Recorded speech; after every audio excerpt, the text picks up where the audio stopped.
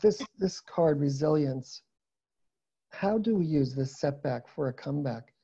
And I think if we realize that we can gain strength from adversity by using our virtues, thinking of others, tapping into our compassion, practicing gratitude, and really, in many ways, circling up with one another, that's the best way.